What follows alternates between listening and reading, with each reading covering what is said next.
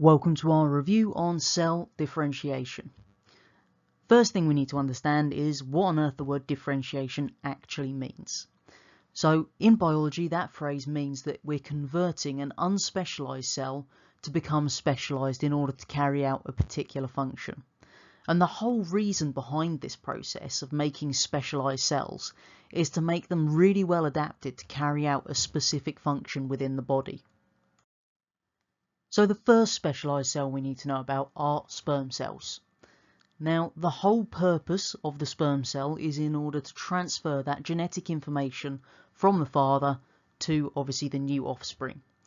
Now we do have a few key adaptations here that we need to know in order to actually allow it to carry out that function.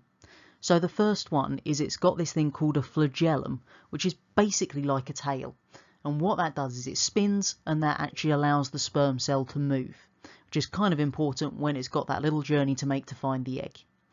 Second thing is it's got lots of mitochondria which you can see in the mid piece in the diagram there.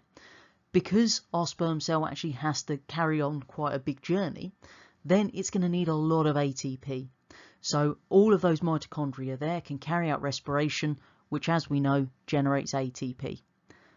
The third adaptation it has is right at the front of the head there.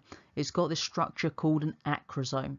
Now, the acrosome basically is like a little pouch of digestive enzymes.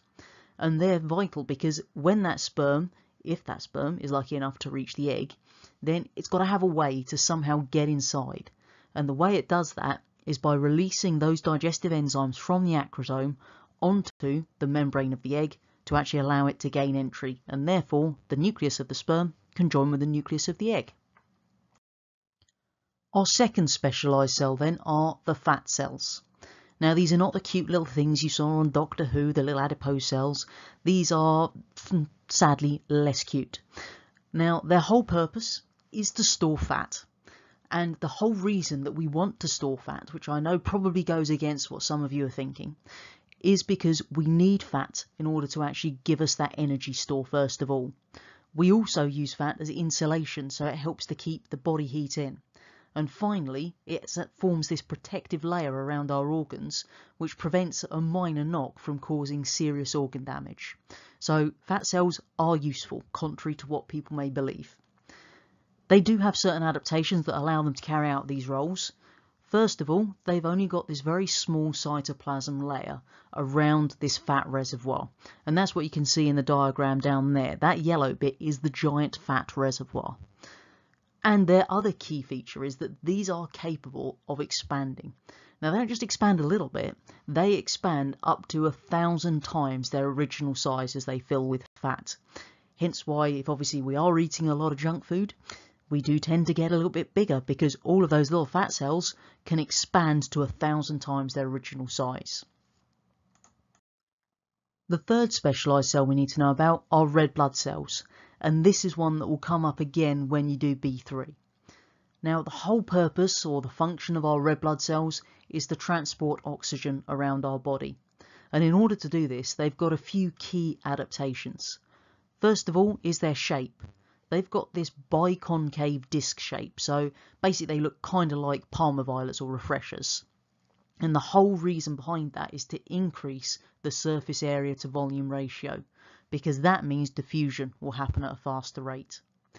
Second adaptation is that they've got this stuff called hemoglobin inside them, which is a carrier protein. And that is going to then allow the oxygen to bind to that hemoglobin and that's where we make our oxyhemoglobin, which is what transports the oxygen through our bloodstream. The final adaptation we need to remember is that they have no nucleus, and the whole reason for that is to make as much space as possible to pack in the hemoglobin so it can transport as much oxygen as possible per blood cell. Our fourth specialised cell are the ciliated cells. Now these are ones that you find within your airways, for example and their whole purpose is to actually move the mucus which contains any bacteria and dirt from where it's sitting in the airways. Now, what you can see on the right there is a lovely little microscope picture of these ciliated cells. And you can see they've got these little hair-like structures on the top. So that's the cilia. Between those, we have another type of cell called goblet cells, and they produce mucus. Now, that mucus traps all the dirt and bacteria, and then those little cilia, they make a little wafting motion, which actually means that they sweep the mucus up from the lungs to the back of the throat where it can be swallowed. And when you swallow it, then it ends up in the stomach acid, which kills those bacteria. Our last specialised cell we need to know about is one that's in plants because we can't just focus on the animals as much as some of you would like to. And this type of cell is a palisade cell.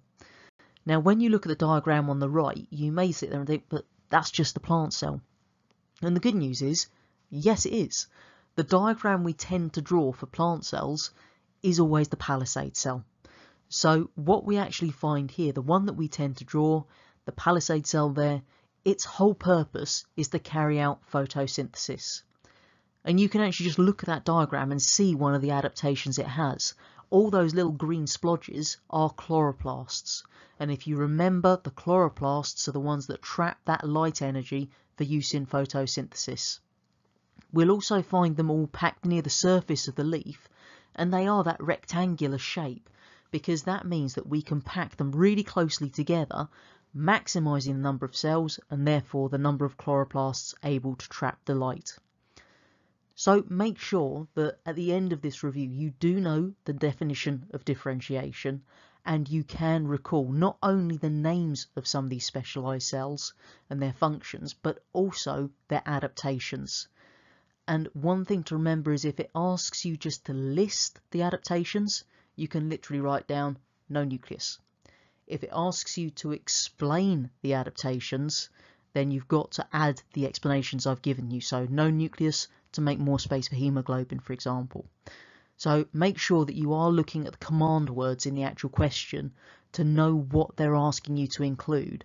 Otherwise, you could really easily throw away some marks on what should hopefully be quite a nice easy question.